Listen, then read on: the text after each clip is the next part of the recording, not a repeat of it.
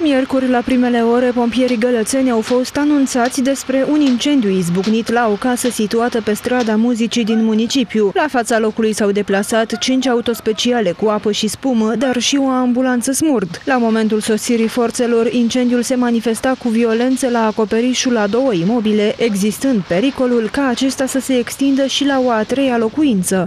Incendiul a fost localizat și lichidat în limitele găsite. Întreaga operațiune de stingere a focului a durat aproximativ 4 ore. Au ars circa 300 de metri pătrați din casa în care a izbucnit incendiul și s-au degradat 150 de metri pătrați din cel de-al doilea imobil afectat. În urma cercetărilor la fața locului, pompierii militari au ajuns la concluzia că cea mai probabilă cauza a incendiului a fost efectul termic al curentului electric provenit de la o aerotermă defectă.